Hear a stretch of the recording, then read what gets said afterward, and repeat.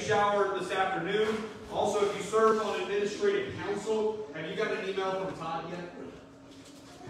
No? Okay. I'll send out an email this afternoon or something to, with the Zoom information. We'll have it, if you can make it, or we can gather here in the sanctuary at 2 o'clock for the charge conference and watch it on one screen. But if you can't make it here at 2 o'clock, we can do it. Um, I'll send out the Zoom link to everybody. You can watch it on there as well for this call charge conference. It'll just going to take like a max 10 minutes uh, in order to do this, so it will not take that long. We are, some other announcements are here in the bulletin. Any others that you all would like to list off for the good of the group? Yes. Wanted to thank everybody who helped with the scrapbook for the seniors, and also everyone who came and supported birthday. Yes. Absolutely. Any others? Courtney? For Bible school, will also be like pop-up tents, so anybody has a pop-up tent that they're willing to let us borrow that first weekend in August would be awesome. For pop-up tents, first weekend in August, if you have some, talk to Courtney, and you guys can drop those off for that. Seeing none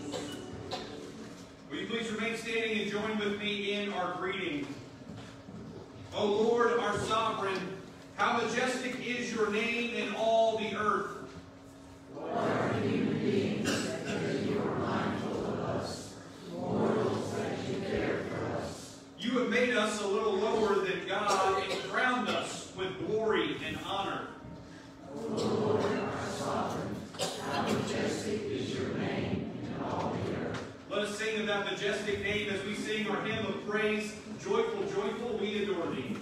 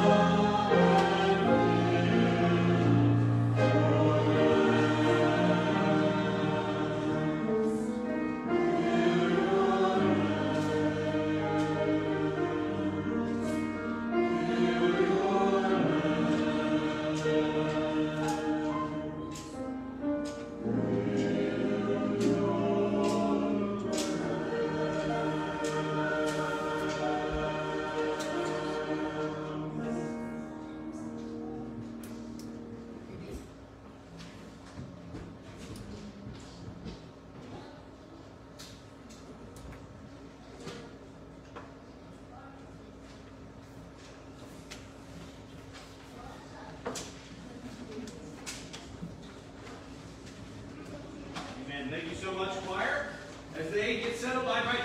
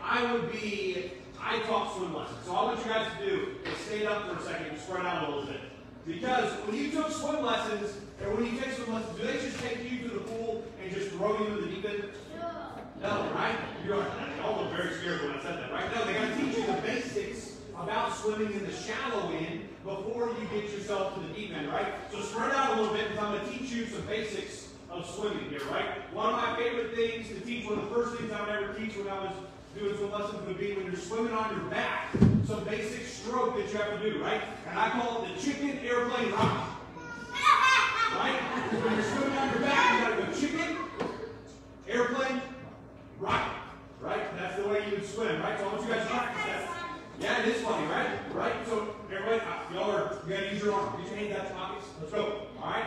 Ready? Let's go hit each other. Chicken, airplane, rocket. Right? Chicken, airplane, rocket. Chicken, airplane, rocket. Right? Next time you go to the pool, just lay on your back and do this, and you'll go swimming all over the place. Right? All right, y'all can sit down. So those are the base, that's a basic stroke that you have to do. And when we come to church, when we read our scriptures, when we're in, in here in worship or in Sunday school, sometimes there's words that we read in this book that are hard. It's like jumping in the deep end of the pool. The passage over right here today talks Jesus says, I have more things I want to say to you. Like harder, deeper things that are difficult to understand.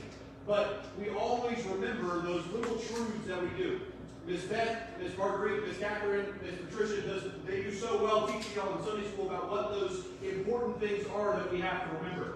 A lot of times y'all are in children's church or in the nursery, so you don't hear what I say at the end of church, but you guys might know what it is. But and I'll have the, the older kids in here help me with it. Right? Every Sunday at the end of church, I say, God loves you. And there's nothing you can do about it. Right? That God loves you. There ain't nothing that you can do about it, because that's a truth something that we always remember. And I know that you guys have a, you were taught a song early on when you are in Sunday school, in church, or whatever, and Miss going to help us. That this is the truth that we always are called to remember, no matter how crazy life gets.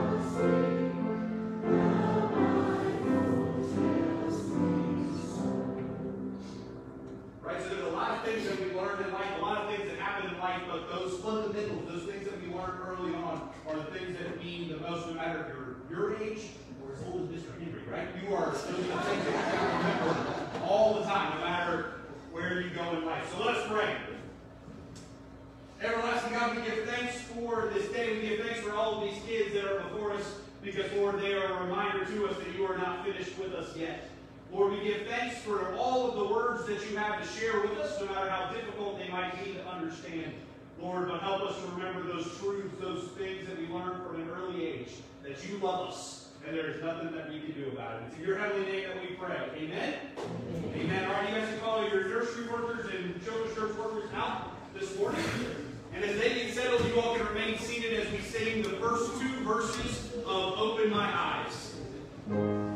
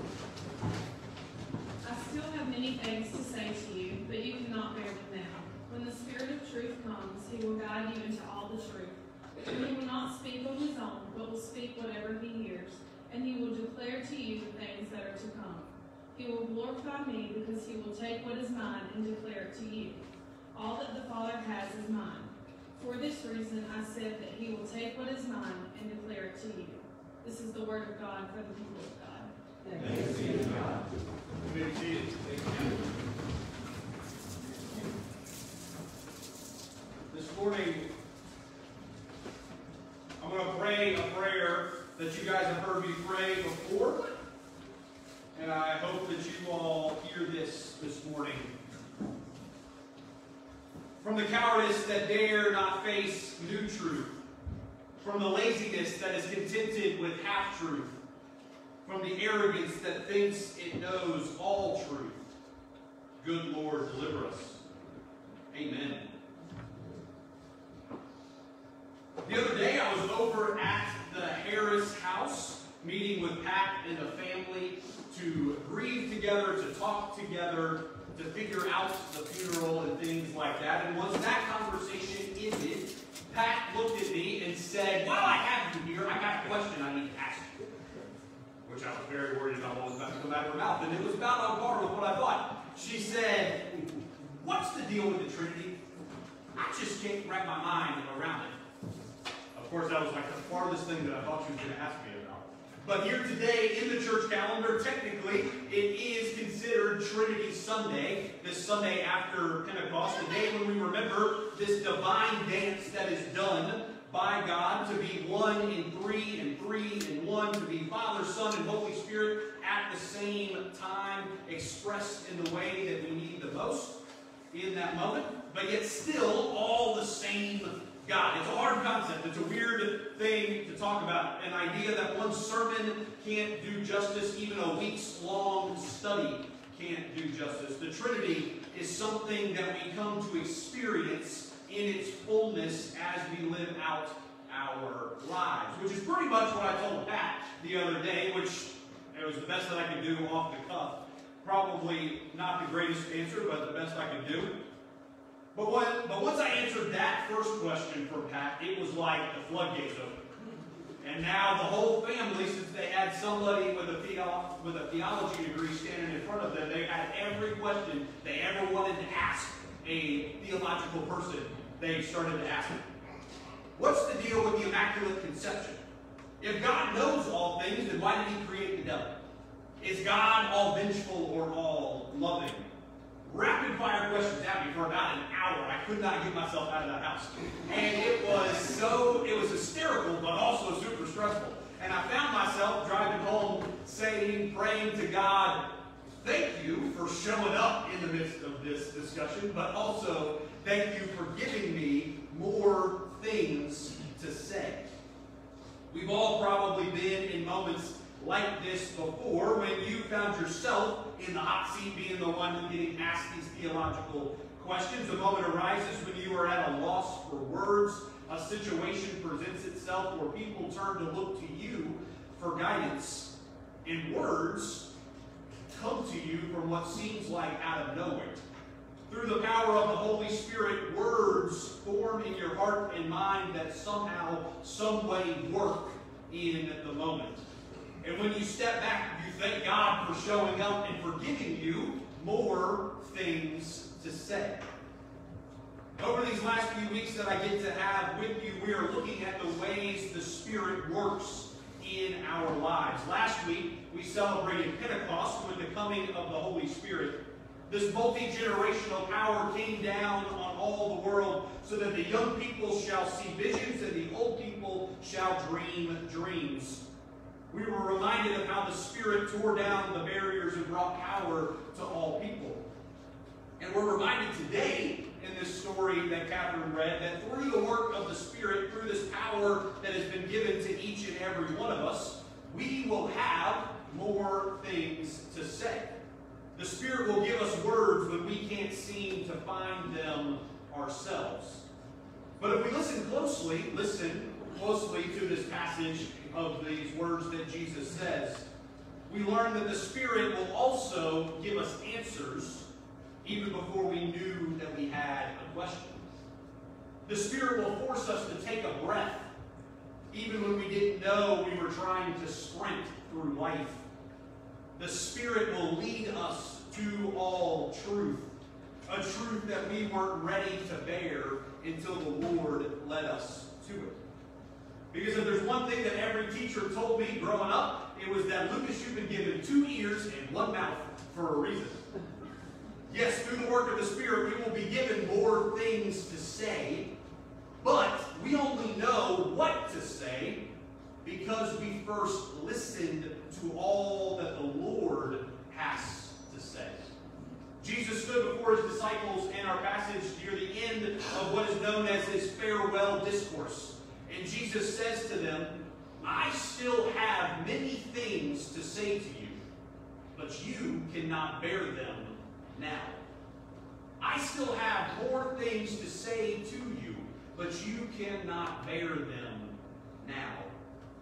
Which is odd to think, odd to hear from Jesus, because we want to believe that it is possible to learn all that we can from God and about God. We want to believe that the Bible contains all that we need to know for life and faith. We want to believe that we have all the answers we could ever need in this book. But we know, if you spend any time in the scriptures, that a lot of times these words bring about more questions than it does answers. We call the scriptures a living word because they speak to us anew each time that we come to them. Not because the words are different, but because we are different each time that we come to them. And the Spirit always has more things to say to us, more things to teach us. I talked with the kids about how growing in the faith is a lot like doing swim lessons. As I've been reflecting on my three years with you guys, I've been kind of like when I was thinking about the swim lessons, I'm like, I feel like that's all I've been doing for three years, is teaching people how to swim in the faith um, in this life. You have to first learn the basics before you learn how to swim competitively. We all start from the same place of being afraid of the water at first, and then some of us learn just enough to enjoy our time at the pool or the lake or the beach. And then others of us become like Michael Phelps, swimming competitively. The same is true in our faith. We have to first learn the basics before we can dive deep into the deep end of what the Word of God has for us. Growing up with a mother who was a children's director of the church meant that I did like 15 years straight of vacation Bible schools. Every single summer, that's what I did for at least one week. And no matter what the theme was for the VBS, I can always remember that there seemed to be the same four scripture passages each and every time. No matter what the theme was, we had the same four passages. The creation story, the story of the friends bringing the paralyzed man through the roof, the feeding of the 5,000, and the Easter story. Those were the same four stories that we had pretty much every single week because you never know who might show up to VBS. Yes, there may be a time where you have all of the kids who are always at church every single week who know a whole lot about Scripture, and so you can go a little deeper with them. But other times you might have a kid who has never stepped foot into a church until that week. We tell those four stories because it gives children the foundation of what God has done for them. That He has created them. He has created all things. He's given us friends to help one another. He gives us all that we need for life, and He gives us everlasting life. The basic fundamentals of faith that then, as the kids grow up, they can dive deeper into the scriptures. They can have bigger conversations. They can study other books of the Bible. They can hear what more the Lord has to say in these words.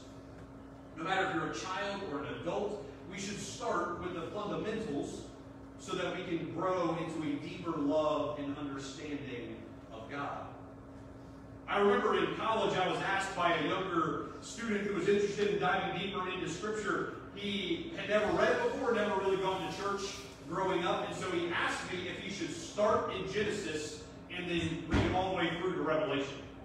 And I know that some people have done that. That's how some people came to learn the whole story. I happen to think that that is nuts to do, to start in Genesis and read all the way through to Revelation. Because how you can read about Cain killing Abel, God bringing a flood to wipe out the whole world, and then Noah getting so drunk that he's lying naked in front of his family, and still think that it all that within the first nine chapters of the book, and still want to keep reading it, is beyond me of how that you would still read beyond those first nine chapters. My suggestion whenever anybody asks me those things is to start in the Gospels. To start with the fundamentals that this is who God is for the world. This is what God has done for the world through Jesus Christ. This is what God is doing for the world through the Holy Spirit. And then from there, once you get those basic fundamentals, the basic idea of the story, then dive deeper into the Old Testament and into the epistles. We have to start from the basics and work our way out in, towards the truth and to learn the truth. I still have more things to say to you, but you cannot bear them now, Jesus says. Well, this might be frustrating to hear the Lord say. We all know that there are times that we don't say everything that we want to say to each other. One picture on social media doesn't tell the whole story of how the relationship is going. One Facebook post doesn't tell the full story of our opinion on a topic. We all carry with us our own experiences and reasonings and thoughts and feelings that result in us having many, many things to say. But we know that we cannot say it all at one time because people, no matter how good of friends we might be, can't handle all of that, bear all of that time. We don't talk to our kids about shootings and deaths and diagnoses because we don't want to burden them with grief. We don't know how to start the conversations ourselves, let alone bear the questions that they might have for us. And so we look at our kids, we look at our loved ones, we do this all the time where we say the exact same words of Jesus. I have so much more to say to you, but you can't bear it all right now. We walk this fine line in our relationship with God. We know that we can bear, that we can't bear all truth just yet, but we also wish for God to reveal himself to us just a little bit more. I like to use this metaphor. I'm not the biggest fan of it, but it works for what I like to say about this that our understanding of God and our understanding of technology are very similar to. I don't really like comparing God and technology, but roll with me. That the moment we get the newest iPhone, whatever number we're on now, the moment that that phone gets placed in your hand, you are holding outdated technology. Because while it may be new to us, we know that they're already working on the next one, the one after that, and the one after that. That what we're holding may be new to us, but it is not. That there are more things to come. And the same is true with our understanding of God. We can read, study, pray, worship, live our lives and experience the grace and love of God in real and tangible ways that help us to form a definition of this is God to me. But whenever we come up with that answer, whenever we come up with that statement, we should always have an ellipse, a dot, dot, dot at the end of that statement. Because the moment that we put a period, the moment we say that this is God, end of discussion, end of story, friends, God is going to do something that's going to completely transform everything that we ever do. We know this right now, but we know that the Lord has more to show us, more to teach us, more to tell us. Our God is alive He is always has more things to say. We just can't bear them all right now. And just because we can't know it all doesn't mean we should give up. But rather, it should keep us intrigued, keep us connected to the mystery that is our faith. Jesus reminds his disciples that when the Spirit of truth comes, he will guide you into all the truth. Truth is a controversial topic in our world today. What's real news? What's fake news? What's a real post? What's a Russian bot posting on social media? Are we sure that we have all the facts before we start to speak? Truth is not just easily accepted anymore, but our scripture this morning reminds us that the work of the Spirit in our lives is always to guide us into all truth. The Spirit of God will always guide us toward the one who is all knowing.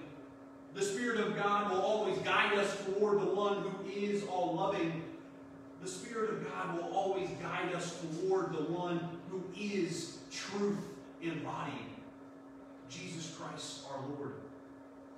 Through the words he speaks, through the actions he makes, through the testament that is his life, death, and resurrection, we come to know the truth of how God loves us.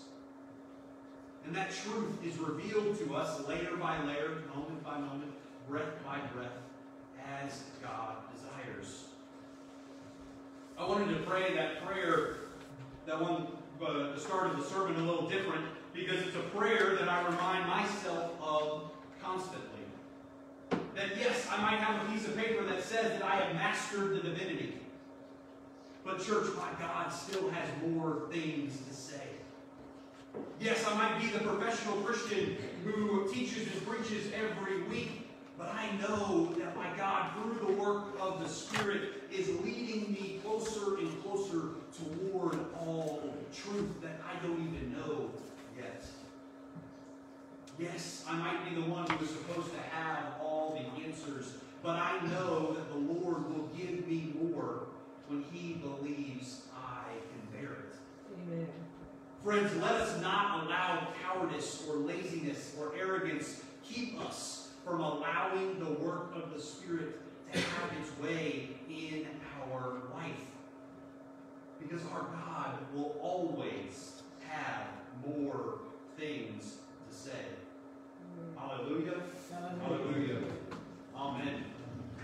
Now, having heard the word of the Lord both read and proclaimed, I invite you to stand as you are able and pray as we confess our faith in Christ with the Apostles' Creed, which you can find on page 881 in your hymnals, in your bulletins, and on the screens. Church, I ask you, what do you believe? I believe God the Father Almighty, maker of heaven and earth, and in Jesus Christ, his only Son, our Lord, who was conceived by the Holy Spirit, born of the Virgin Mary, suffered under Pontius Pilate, was crucified, dead, and buried. The third day he rose from the dead. He ascended into heaven, and sitteth at the right hand of God the Father Almighty.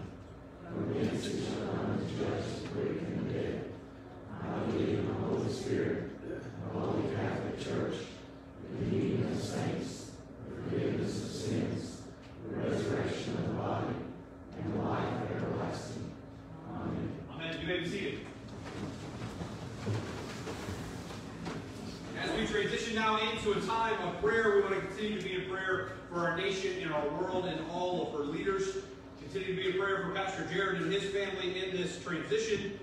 We pray for the continue to pray for the Harris family and the death of Welford and our whole church family as we continue to grieve his loss.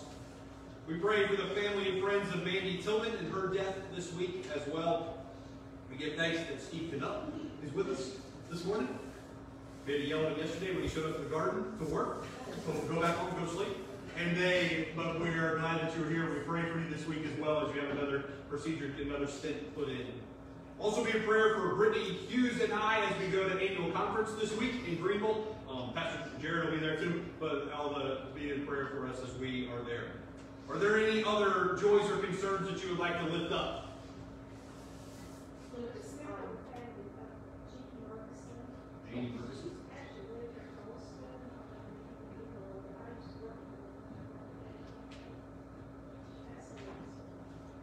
Prayers for the friends and family of Jeannie Murkison who passed away this week. Sherry. Frank's parents, Billy and Sarah Elmore, are not doing well. Um, His dad went back to the hospital last night, and his mother took a fall this week, and it's not doing well. For Billy and Sarah Elmore, Craig's parents, who are not doing very well, so be in prayer for them. Yeah, Courtney. I'm praise rest and my mom's doing a lot better. Pray that Miss Kay is doing much better. When I called her to check in on her the other day, Lily was screaming at me in the phone. So I was like, clearly if she's out with the kids, that she's doing all right. So it was very, so I was glad to hear that this Kay was doing well.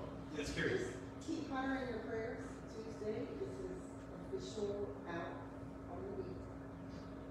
Prayers for Hunter as he starts his work as a policeman, first official day on Tuesday. So prayers for Hunter as he serves the Wilson community.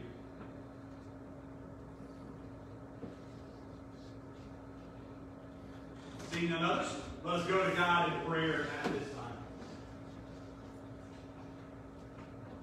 Eternal God, we come to you in prayer because we're always looking for more. We know that while we might think from time to time that we know who you are and what you are and all the things that we expect from you, but we graciously and humbly fall at your feet each and every time because we are in awe of how wrong we always are. That you are always more loving, always more gracious than we could ever begin to imagine. And we are so thankful for that because, Lord, you always have more things to teach us, more things to say to us. Lord, give us a spirit of wisdom, give us a spirit of discernment, give us a spirit of willingness to listen to these truths that you have for us so that we might live accordingly. Lord, we know that there are many in our lives who are struggling, those that are here with us this morning, those that, have, that couldn't be with us, those that are in our families, extended families. Lord, we know that there are so many that are in need of your presence, in need of your love. And Lord, we lift them up to you now in this moment of silence.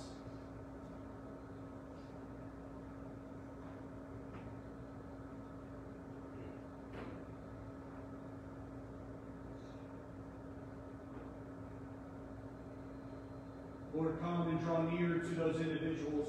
Draw near to each and every one of us to remind us of your strength, to remind us of your grace, to remind us of your love. Strengthen us for this work that is before us to be your hands, your feet, your heart in this community in whatever ways are needed. Lord, help us to step out in faith, to be there for one another, to be there for our fellow brother and sister in all that we do. We pray this to you, O Lord, not because we are perfect, but through the power of your Holy Spirit. You are making us into the perfect beings that we were created to be. And until that day comes, we pray this prayer of confession together, saying, Merciful God, We confess that we have not loved you with our whole heart. We have failed to be in the church. We have not done your will. We have broken your law. We have rebelled against your love. We have not loved our neighbors. And we have not heard the cry of needy. Forgive us, we pray. Forgive us for joyful obedience. Through Jesus Christ our Lord. Amen. let's all pray prayers of silent confession.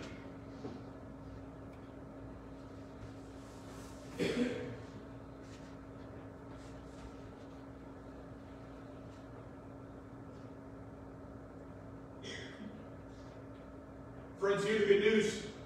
Christ died for us while we were yet sinners. That proves God's love toward us. In the name of Jesus Christ, you are forgiven. In the name of Jesus Christ, you are forgiven. Glory to God. Amen. Amen. Now, as forgiven and reconciled people, I invite you to turn to one another and share signs of peace.